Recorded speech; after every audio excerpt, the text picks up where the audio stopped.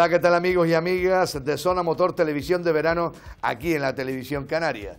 Saludamos a los telespectadores que nos siguen directo a través de Internet en estos momentos a través de la televisión pública de Canarias. Recuerden que esto es un espacio para todas las edades y para todos los públicos y que estamos con todos ustedes todos los domingos a partir de las siete y media de la tarde aquí en la nuestra. En unos momentos eh, comienza para todos ustedes Zona Motor Televisión de Verano, aquí en la Televisión Canaria. Arrancamos.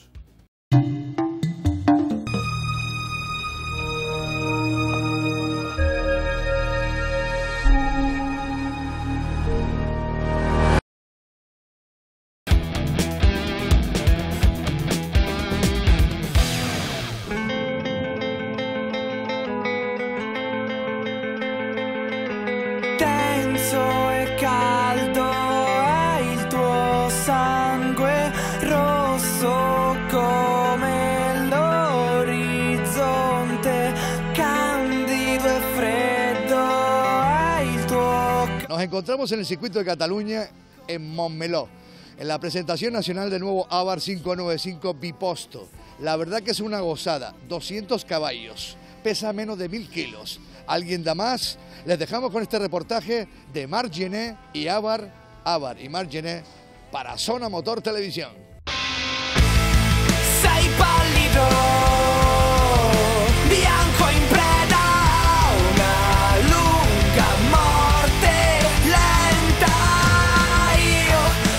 Hace meses les hablamos del modelo que dicen es el más Abarth de todos los Abarth. Pues bien, esta semana nos hemos puesto a sus mandos en un escenario inmejorable, el circuito de Montmeló, en Barcelona, el mismo lugar que dentro de pocos días acogerá el siguiente Gran Premio de la temporada 2015 de Fórmula 1. Precisamente uno de los habituales del paddock de la categoría reina del automovilismo mundial, Marc Gené, hizo de anfitrión en un trazado que conoce palmo a palmo, dando una serie de consejos para poder exprimir al máximo el potencial del 695 biposto. El biposto es uno de los coches más deportivos, más rápidos, más ligeros. Es un coche de menos de 1000 kilos, con 200 caballos, de casi hace 230 final de recta. O sea, es un coche francamente de carreras y es una gozada conducirlo. Un piloto profesional en un coche que transmite sensaciones de coche de carreras profesional también, ¿no? Nos estaba contando ahora Margené que el paso en curva de la Barbiposto aquí en, eh, el circuito es similar a los, eh, no voy a decir a los Fórmula 1, pero sí a los Ferrari casi de calle, ¿no? ¿Por qué razón? Pues porque es un coche que está muy equilibrado en cuanto a la potencia. Pensad que el biposto da una, potencia de 190 caballos, pero tiene un peso muy reducido y eso hace que tenga unas reacciones muy fáciles de controlar, pero a la vez muy emocionantes, muy brillantes, eh, una adherencia, una frenada que, que transmite muchas sensaciones a la hora de conducir. Un Abarth con una altísima concentración de deportividad por centímetro cuadrado y cuyo equipamiento solo puede brillar con toda su intensidad en un circuito de la talla del de Montmeló. Ha sido una experiencia eh, fantástica, es donde mejor se pueden probar todas las, las cualidades de, de nuestro producto y, y bueno, y la verdad es que en la marca Avar estamos convencidos de que vamos a seguir con el crecimiento que traemos respecto al año pasado y bueno, y, y poner a la marca donde, donde le corresponde. Los Abarth son coches muy cortos de, de distancia entre ejes, esto hace que sea extremadamente reactivo y que tenga mucho grip, mucha agilidad. Y me recuerda a un kart, porque es tan duro a nivel de suspensiones, por esto corre tanto también, que tiene una conducción muy parecida. Yo no podría hacerlo, pero Mar sí. Mar sí es capaz de poner el coche al límite, es capaz de decirte lo que tienes que hacer para disfrutar del coche, ¿no? para, para que tú también vayas al límite y saque, saques lo mejor de ti mismo en un circuito y acabes esta prueba este día habiendo disfrutado, habiendo eh, tenido esa sensación de lo que significa pasar por curva tan rápido, frenar y sobre todo como es la filosofía de un coche como Avar, de una marca como Avar, que es hacerlo todo dentro de los márgenes de seguridad eh, sobrada. Que había oído hablar del biposto, había oído hablar de, pues, de su, cambio, de su caja de cambios que viene de la competición, había oído hablar de que pesa menos de mil kilos de peso y tenía ganas de probarlas en un circuito y no me ha decepcionado. Esto es así porque son tan especiales sus componentes que solo se les puede sacar su quinta esencia dentro de un recinto acondicionado o en una carretera cerrada en el caso de los rallies. Y es que el eslogan los domingos en el circuito, los lunes en la oficina, le viene como anillo al dedo a este coche.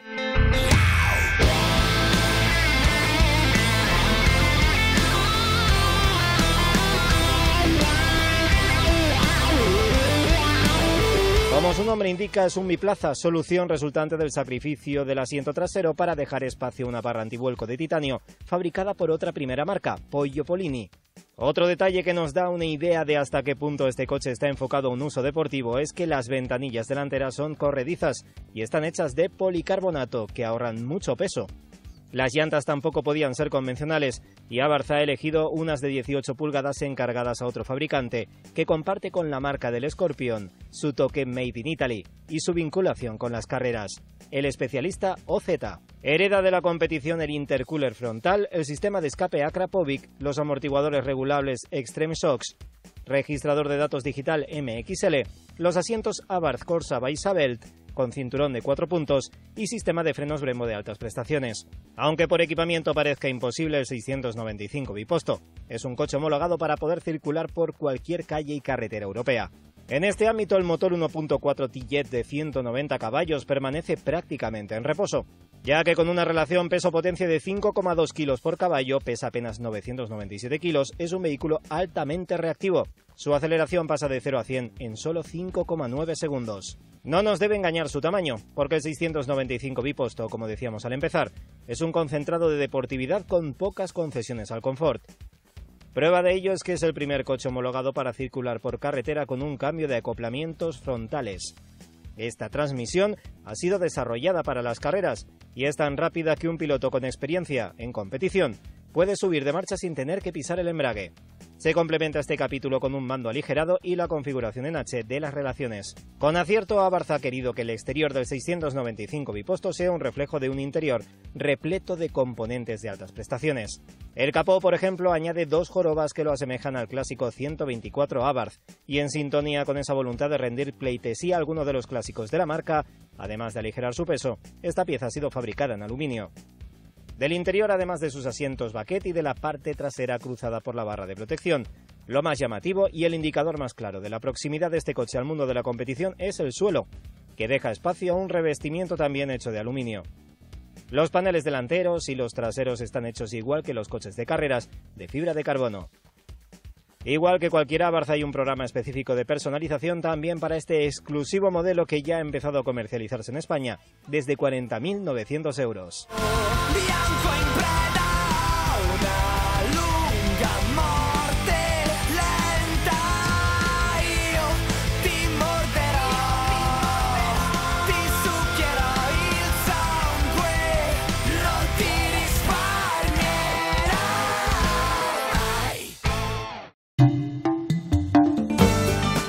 Grupo Rafael Afonso Automoción. Concesionario oficial de Renault y Dacia en Miller Bajo. Grupo Rafael Afonso Automoción. Renault y Dacia en Miller Bajo. Nuevo Fiat 500X con sistema de infoentretenimiento Uconnect Live. Y siempre listo para la acción. Llévatelo por 13.500 euros con 4 años de garantía incluidos.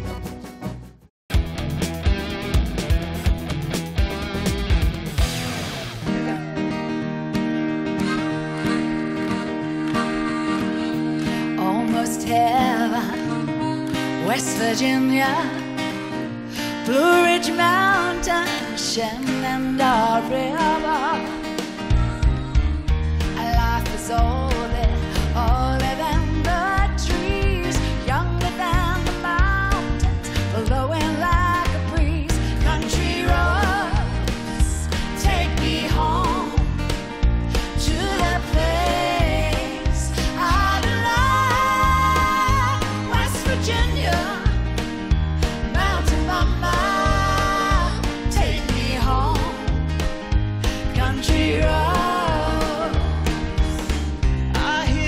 Esta semana nos ponemos al volante de uno de los vehículos más genuinos del panorama de los todocaminos compactos. Todo Jeep tiene ese toque americano que lo diferencia del resto, pero en el caso del Renegade añade varias capas de estilo, funcionalidad y equipamiento tecnológico europeo. Italiano, para más señas. Conserva lo mejor de Jeep en cuanto a personalidad y también en potencial todoterreno, aunque sea en versiones como a la que nos hemos subido, que carece de la avanzada tracción total. Si lo que se busca es un vehículo amplio con un interior confortable y un exterior capaz de romper con lo establecido, en efecto el Renegade es una buena alternativa incluso dentro de una categoría tan creativa como la de los todo camino y crossover. Por supuesto, también lo es para aquellos que hasta ahora no habían encontrado entre los subcompactos un coche de estilo americano, o para los conductores jóvenes con espíritu de trotamundos que siempre han identificado Jeep con la aventura. Y es que el Renegade presume del emblema de la marca estadounidense y de muchas de sus señas de identidad, como los faros redondos, la parrilla con siete ranuras o los pasos de rueda trapezoidales. Además, frente a otras alternativas mucho más tímidas en su categoría, el Renegade también toma distancia con su configuración de un típico todoterreno. Este esquema de carrocería tiene un efecto inmediato sobre su interior. A pesar de sus medidas muy compactas, el habitáculo sorprende por su generosa habitabilidad. La posición elevada de los asientos de ambas filas obliga a flexionar las rodillas de los pasajeros y con ello se saca el máximo partido a la longitud disponible en cabina. También se crea espacio para su maletero, capaz de ofrecer 350 litros ampliables hasta los 1300 plegando los respaldos de los asientos traseros. Esta impresión de amplitud se refuerza en versiones con techo practicable, ya sea el panorámico de cristal o el My Sky, con sus dos paneles desmontables y almacenables en el maletero, que incrementan la visibilidad del exterior. El toque europeo del Renegade se aprecia en la atención a los detalles, el uso de materiales de buen tacto y aspecto, combinaciones de tonos atrevidos y componentes tecnológicos de última generación. Dice el fabricante que en él se emplea una técnica de diseño llamada Tectonic, que crea contrastes entre formas suaves con otros detalles más funcionales y sólidos. La flexibilidad está asegurada con una superficie de carga desmontable, reversible y regulable en altura. Además, el asiento del copiloto se puede abatir para acomodar objetos largos. country road.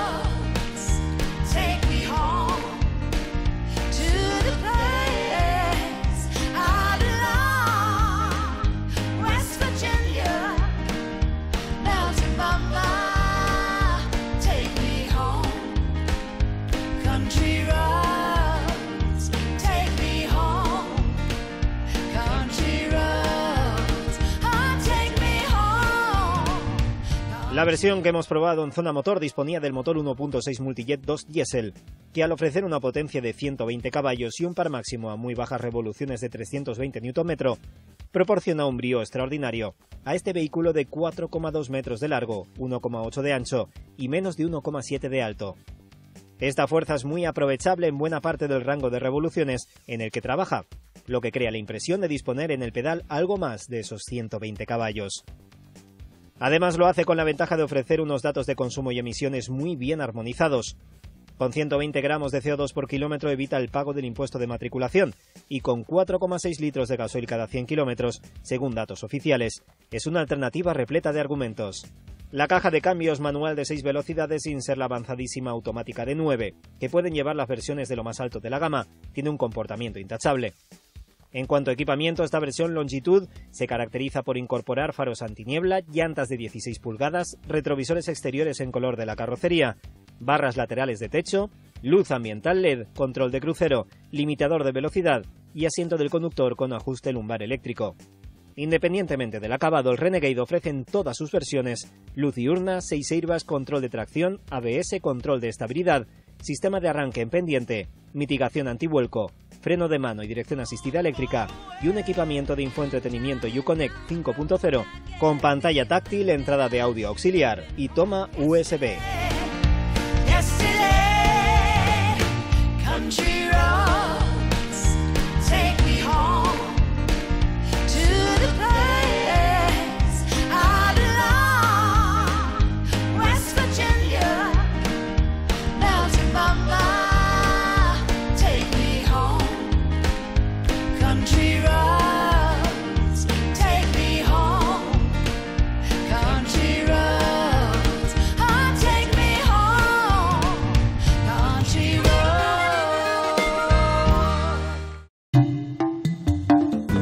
500X con sistema de infoentretenimiento Uconnect Live.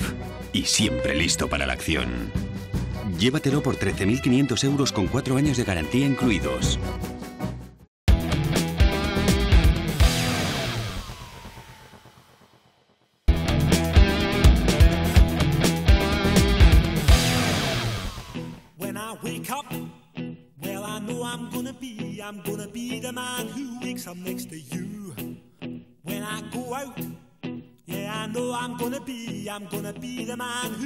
long you.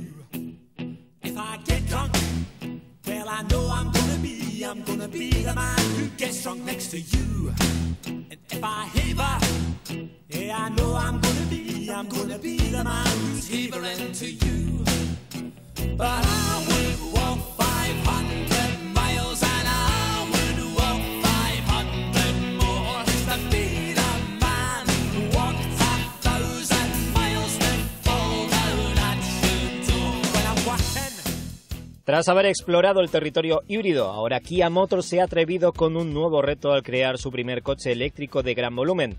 Es el Soul EV, una variante más dentro de la gama del crossover asiático y que respecto a otros modelos de similares características propone la misma versatilidad del modelo del que parte, unos valores de autonomía muy útiles y un diseño propio. También un precio lo suficientemente equilibrado como para ser una alternativa real a las motorizaciones gasolina o diésel, al margen, por supuesto, de los gustos y las convicciones ecológicas de su posible propietario. El que su diseño sea en buena medida el mismo que el del nuevo Kia Soul se debe a esa voluntad de ser un coche para todo y no solo un coche eléctrico. Pero las modificaciones que recibe van todas dirigidas a hacerlo más eficiente en su aprovechamiento de la energía de sus pilas.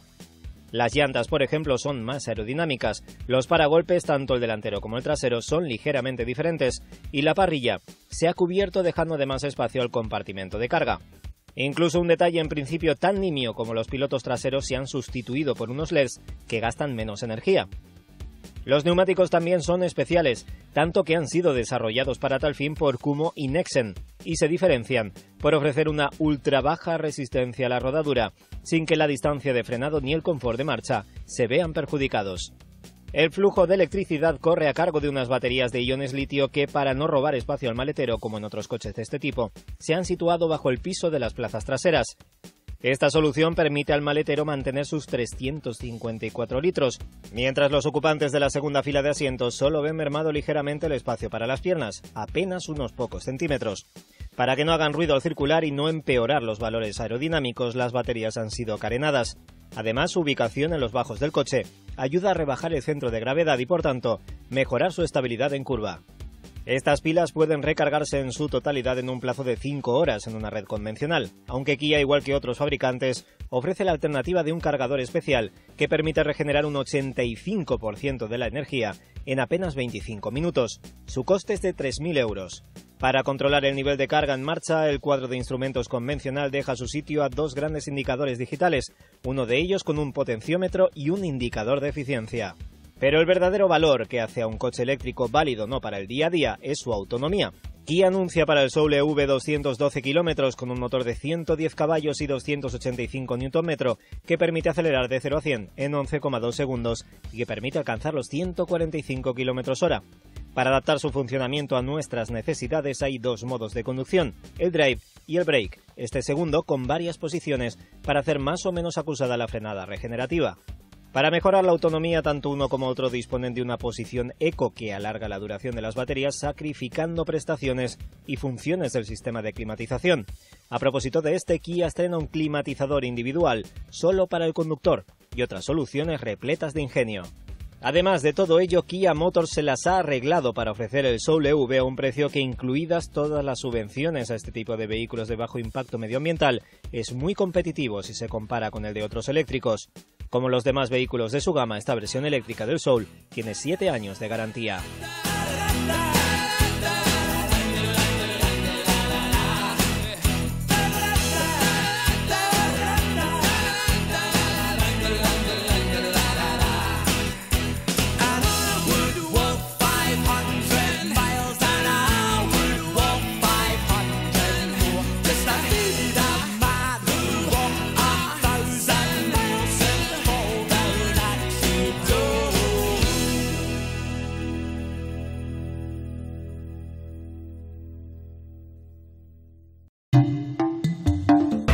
Peugeot 508. Conquista la carretera.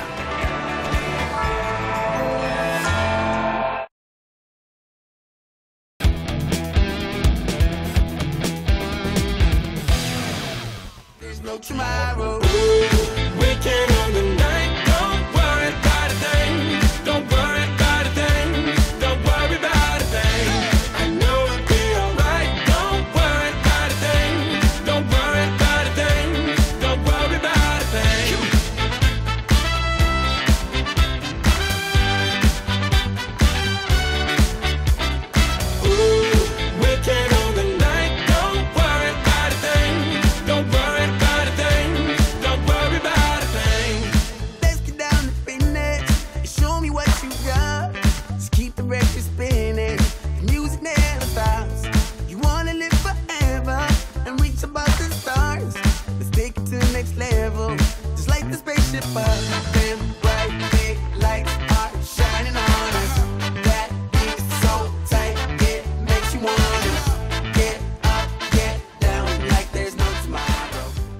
categoría de los todocaminos supercompactos sigue dando más y más de sí.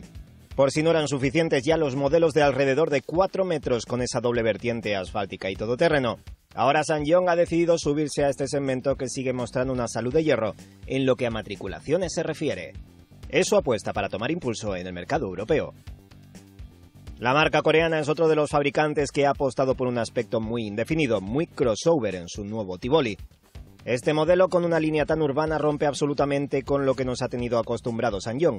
Y es que en manos ahora de la India Mahindra dicen que este sub es la avanzadilla de toda una nueva línea de productos. De momento en el mercado coreano está funcionando muy bien y las razones pueden ser varias, empezando por ese diseño del que hablábamos antes y que se caracteriza por unas líneas bien definidas. Aunque es tan amplio el segmento B que es imposible no encontrar puntos en común con otros vehículos, el Tivoli logra su propia identidad en el frontal y sobre todo en la zona trasera. La robustez le viene impuesta por las amplias puertas, los enormes pasos de rueda y las líneas dinámicas que surgen de los grupos ópticos delanteros y traseros. Como muchos otros modelos de este ramo, los bajos están protegidos subrayando su condición todoterreno. El Tivoli es otro de esos coches que recurre al techo como elemento de contraste, con un color que choca con el del resto de la carrocería. En el interior, el principal argumento que esgrime Sanyong en este modelo es el espacio. Confort en las dos filas de asientos, múltiples huecos portaobjetos, algunos de gran tamaño y un maletero amplísimo con 423 litros hasta la bandeja. Tampoco se queda atrás en diseño este interior. Se aplica al máximo en detalles como el cuadro con una doble esfera con un display de información central y la consola con una elegante y moderna disposición del equipo de infoentretenimiento y los controles del equipo de climatización. Muchos de sus mandos están integrados en el volante multifunción que además se mueve con ayuda de una dirección asistida con tres posibles modos, normal, uno deportivo y otro más liviano para conducción en ciudad. Para impulsarlo, Sanyong ha escogido un motor gasolina 1.6 EXGI de inyección directa pero atmosférico con 128 caballos y 160 Nm de par. Un propulsor con el que el Tivoli sobrepasa los 180 km hora y deja su consumo medio por debajo de los 7 litros de combustible cada 100 km. Más adelante se sumará una opción diésel también 1.6 con 115 caballos y más generoso en par, 300 Nm, que podrá asociarse a una tracción total alternativa a la 4x2 de serie y también con un cambio automático opcional al manual de 6. Esta es la apuesta de Sanyong en un segmento ultra competitivo en el que en poco tiempo se han sumado modelos de la creatividad del Ford EcoSport, el Opel Mokka, el Fiat 500X, el Mazda CX-3, el Peugeot 2008 o el Jeep Renegade, entre muchísimos otros.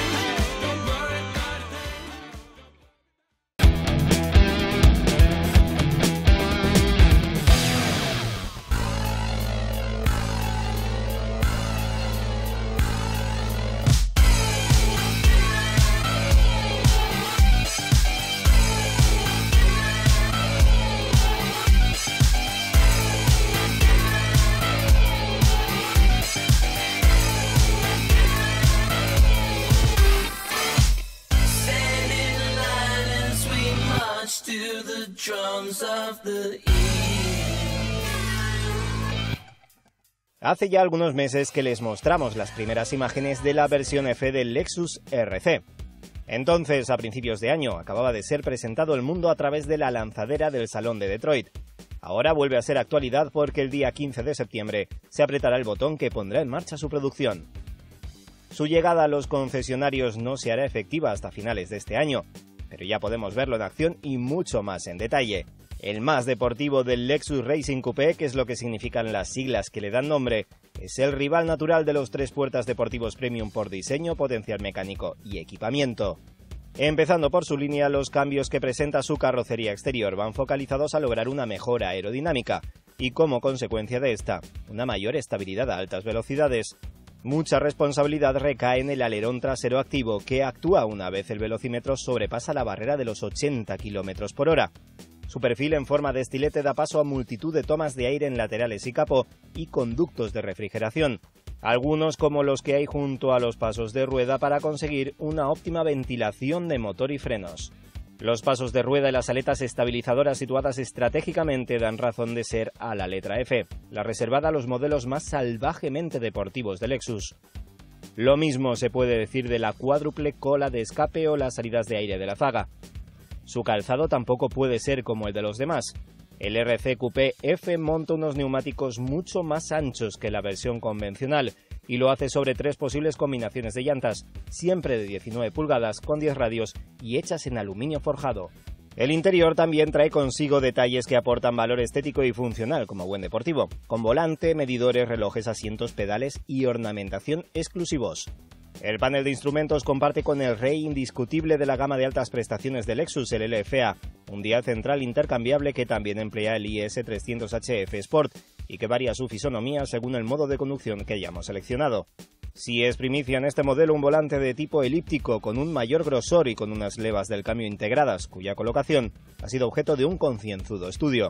Igualmente ergonómicos son sus asientos tipo baquet con el logotipo F personalizando los reposacabezas y para adaptarse a las preferencias y gustos de los clientes habrá hasta cinco tipos de cuero con los que revestirlos y con los pespuntes a juego.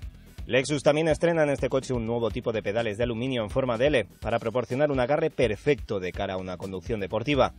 Toda ayuda es poca para sacar el máximo partido al nuevo motor. Es el V8 más potente jamás creado por la marca japonesa y su potencia alcanza los 450 caballos. El cambio es el mismo que estrenó el ISF, un automático de 8 relaciones con modo deportivo. Su precio para España va desde los 86.700 euros en su versión Executive, que incluye tapizado en alcántara, faros LED, el Lexus Media Display, el VD-IM Sport y el diferencial LSD, y va hasta los 98.500 euros de la versión Carbon Package, y que se diferencia por incluir numerosos elementos fabricados en este material. Son tantos que nunca antes, salvo el LFA, un Lexus había hecho un uso tan extensivo de la fibra de carbono. Heredero, por tanto, de la versión más exclusivamente deportiva de la historia de la marca. Están hechos en este material el capó delantero, el alerón trasero activo e incluso el techo. Respecto al acero y el aluminio, la fibra de carbono aporta mayor ligereza pero también esa mayor rigidez a la torsión. Como ejemplo, solo el techo pesa la mitad que el del RC convencional.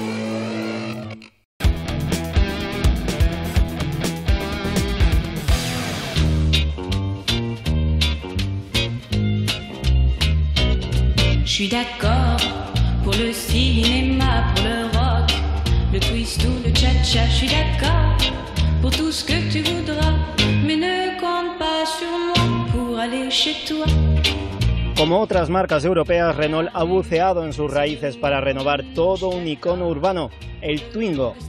Este pequeño utilitario se reinventa al inspirarse en el célebre R5 en su línea y recibir la influencia técnica de Daimler y el que para sorpresa de muchos es su primo hermano, el nuevo Smart. Desde su aparición hace ahora 20 años el Twingo quiso ser y fue un ejemplo de cómo un coche urbano puede ofrecer un interior amplio. El modelo de 2014 vuelve sobre sus pasos para volver a ser un dechado de funcionalidad, a pesar de una medida exterior súper compacta. Al acortarse en 10 centímetros se planta en solo 3,59 metros y sin embargo la cabina experimenta un importante estirón de 33 centímetros. Como veremos a continuación, parte de ese logro se debe a las soluciones estructurales que, guiado por su socio Daimler, adopta Renault para el Twingo. También a detalles como la inclinación del propulsor o la ubicación de las ruedas en los cuatro extremos. El Twingo 3 recibe una inyección de atributos que también lo hicieron diferente al resto en 1992. Carácter lúdico, alegre y una gran personalidad. En un momento en el que lo retro está más en boga que nunca, la tentación de buscar inspiración en otro gran icono de la marca del rombo, el R5, era demasiado grande. Esto se aprecia claramente en las aletas bien marcadas y la inclinación de la luneta trasera. También queda algo del primer Twingo, y así, mezclando influencias de uno y de otro, también se ha hecho con la línea de estilo que estrenó el Clio y que sigue empapando el resto de la gama. El frontal es un claro exponente de esta nueva generación Renault, muy expresivo con unos faros generosos y unas luces diurnas LED redondas que mezclan tecnología y ese cierto aire vintage. El portón trasero acristalado de grandes dimensiones aporta un contrapunto más vanguardista al diseño general de este coche.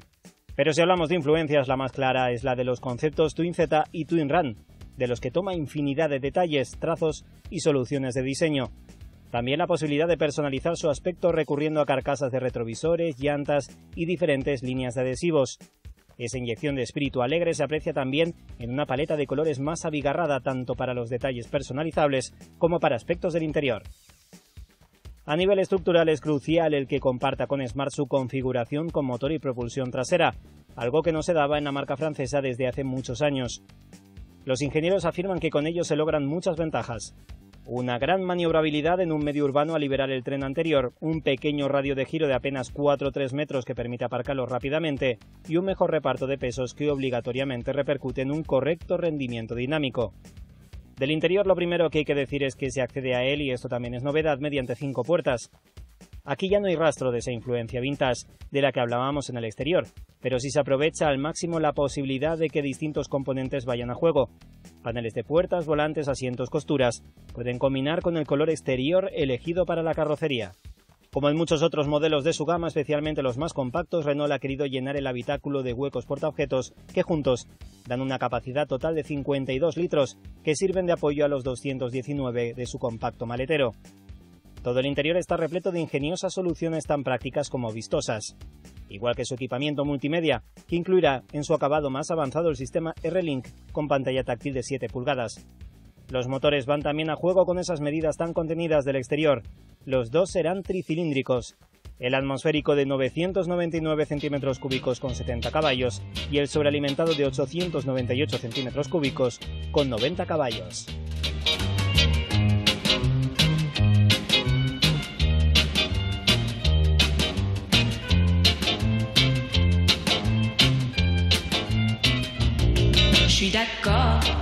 Ensemble suis d'accord.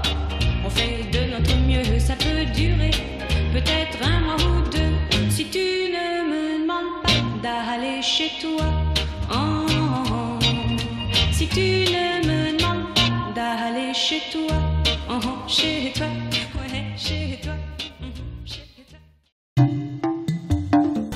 Confía solo los auténticos. Centroauto, tu concesionario sea de siempre, en Miller Bajo. Be a part of it.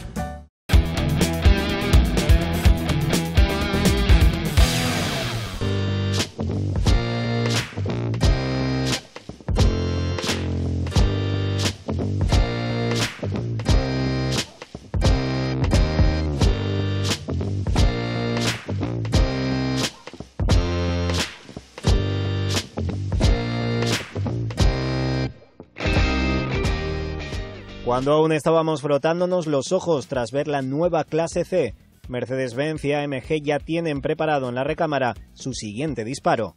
El GLA, su nuevo todocamino compacto, va a tener una versión de altas prestaciones, la 45 AMG, demostrando de nuevo que puestos a competir en un segmento tan competitivo y en auge como este, la marca de Stuttgart lo va a hacer con toda la artillería. Hecho sin duda para competir contra modelos como el RSQ3 de Audi, el GLA 45 AMG también emplea una combinación de diseño poderoso y llamativo, con un equipamiento exclusivo, motor potente y altas prestaciones, al emplear el motor tetracilíndrico sobrealimentado más potente de cuantos se fabrican en serie en el mundo. Un 2 litros fabricado por un único mecánico que proporciona 360 caballos y 450 Nm. Una descarga de sensaciones que con una aceleración de 0 a 100 en 4,8 segundos lo convierte en un digno integrante de esa subgama AMG que no ha dejado de crecer y que junto a otros modelos como el A45 AMG y el CLA 45 AMG busca la atención de un público joven.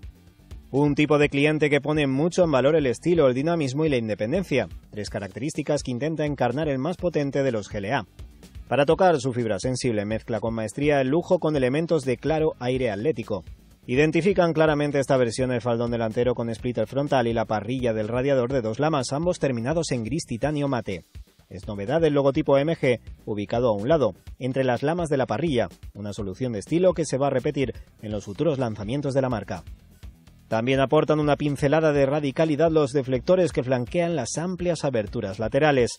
En la zaga dominan el inserto de difusor con moldura de color gris titanio mate y los dos embellecedores rectangulares cromados en diseño de salidas dobles del equipo de escape deportivo AMG.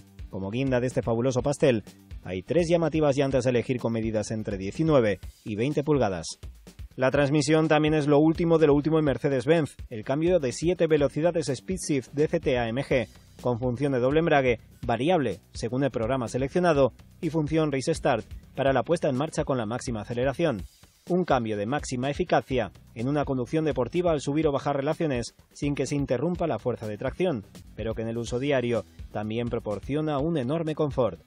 En modo manual y deportivo, esos cambios de velocidad son tan rápidos que se equiparan a los del superdeportivo SLS AMG en versión GT.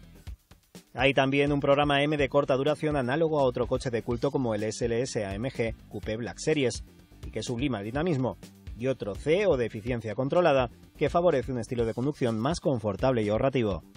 También el programa electrónico de estabilidad cuenta, como es habitual en una AMG, con tres niveles de activación. El normal, el de manejo deportivo y el que lo desconecta por completo. El equipamiento de serie incluye también un control de dinamismo en curvas que interviene de forma casi imperceptible sobre el freno de la rueda trasera del lado de la curva.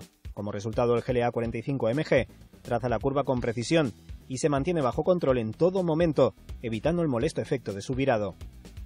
Por supuesto, el nuevo GLA 45 AMG está equipado de serie con el sistema variable de tracción integral AMG Formatic, lógico tratándose de un todo camino, pero con algunas mejoras para pulir las prestaciones que pone a su disposición su potentísimo motor. Durante la circulación normal trabaja con tracción delantera para optimizar la eficiencia.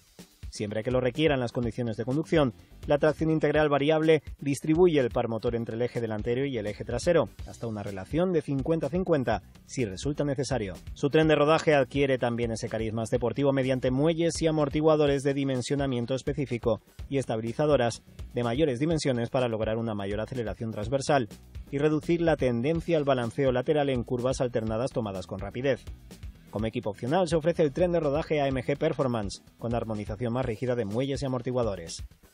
Al igual que los demás modelos de AMG de altas prestaciones, el interior de este vehículo deslumbra por la alta sensación de calidad que sugiere, combinada con un ambiente deportivo y exclusivos detalles de equipamiento. El habitáculo está presidido por los asientos deportivos tapizados en símil de cuero con costuras de contraste rojas y con cinturones de seguridad a juego, y también por la AMG Drive Unit, el volante deportivo multifunción de tres radios con sección inferior plana, forrado en napa y adornado con costuras en contraste en rojo, presenta una zona de sujeción revestida con cuero perforado. Incorpora levas de cambio, permitiéndose un perfecto dominio del vehículo. El conductor puede consultar la información necesaria en el cuadro de instrumentos AMG de doble tubo, con display central en color, menú principal AMG y cronómetro de carreras.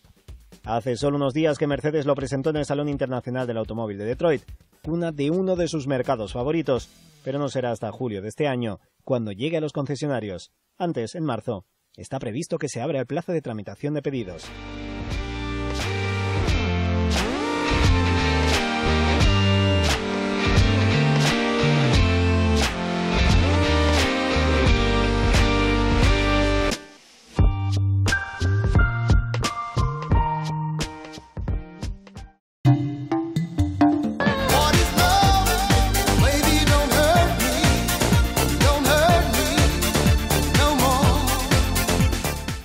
Smart.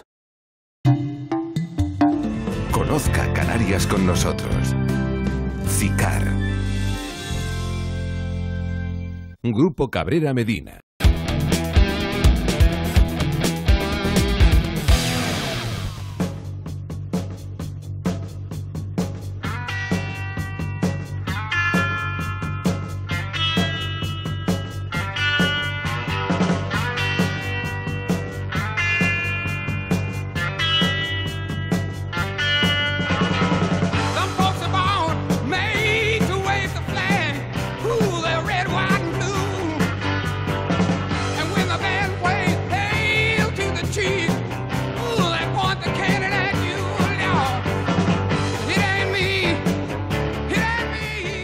Yamaha continúa expandiendo a lo ancho su gama de carretera empleando para ello la saga MT. La mayor, la 09, ha dado pie a una versión Touring que Yamaha ha llamado Tracer y que a pesar de su inclinación trail conserva toda la agresividad y la originalidad del modelo del que parte. Presentada en el último salón EICMA de Milán, en Yamaha tienen una dilatada experiencia en la creación de versiones ruteras de modelos desnudos, pero en el caso de la MT-09 Tracer sus diseñadores se han esmerado mucho en diferenciarla de sus hermanas no solo a la vista, sino también al conducirla. Porque una moto Touring precisa de manejabilidad, flexibilidad, capacidad de carga, autonomía y también protección frente al viento. La mayoría de los cambios van enfocados a esa quíntuple misión. El semicarenado que viste la parte superior de la moto brinda protección a pilotos de talla muy variada, porque su pantalla tiene tres posiciones de altura bien espaciadas.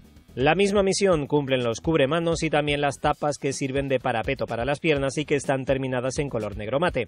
A propósito de colores, la poca carrocería de la Tracer está disponible en rojo lava, una combinación de gris y azul que la marca llama Riz Blue, y en gris mate. La mirada sí mantiene los aires de familia MT-09, con la doble óptica que en esta versión son full LED, incluido el módulo de iluminación diurna. La posición del piloto es mucho más alta y erguida, aunque la altura del asiento se ha reducido.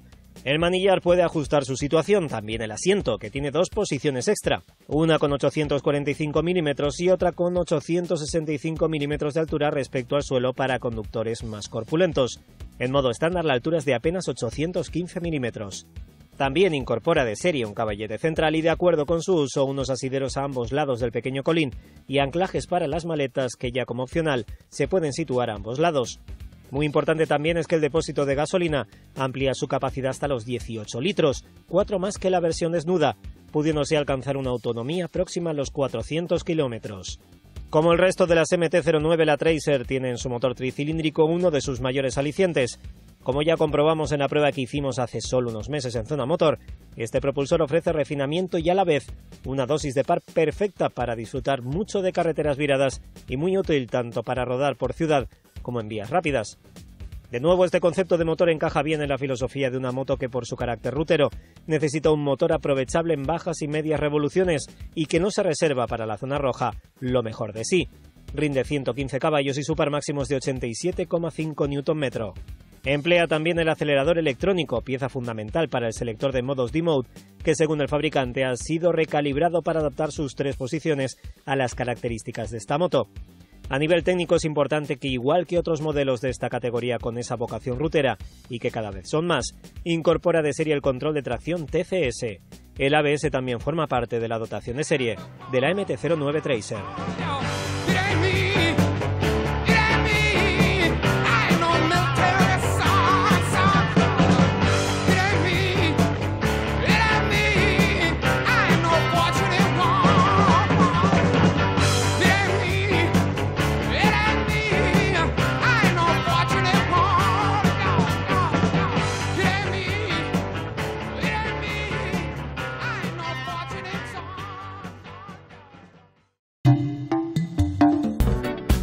Yamaha MT-09. Solo la verás en Auto Quality Canarias. Yamaha, Grupo Flick. Así hemos llegado al final de nuestro espacio, esperando que estos 45 minutos hayan sido de vuestro agrado, aquí en Zona Motor Televisión de Verano, en la Televisión Canaria. Les quiero comentar algo importante, ahora que van a regresar de las vacaciones y la vuelta a casa. Tengan mucho cuidado al volante y muchísimo cuidado con la carretera, amigos. Mi nombre es Pepe Carballo. Nos vemos dentro de siete días, en la hora más apasionante del mundo del motor en Canarias. Les esperamos en la pantalla de la nuestra. Ya saben que para seguir nuestros vídeos semana tras semana, ahí lo están viendo debajo de la pantalla, www.sonamotormagazine.com y ahí pueden seguir nuestros vídeos. Les esperamos, como dicho, el próximo fin de semana aquí, en Zona Motor Televisión de Verano. Saludos.